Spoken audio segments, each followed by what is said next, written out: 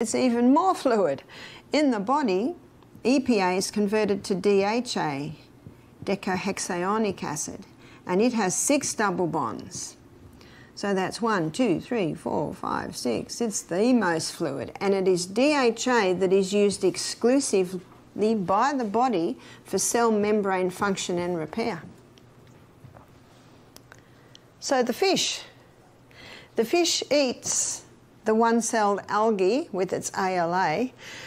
Then in the fish, ALA is converted to EPA. In the fish, EPA is converted to DHA. Man extracts the DHA, puts it into capsules and says, oh, this is far superior because the DHA is already available for you. Can you see that?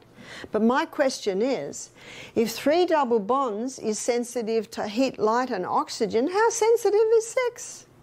Is it possible to extract it?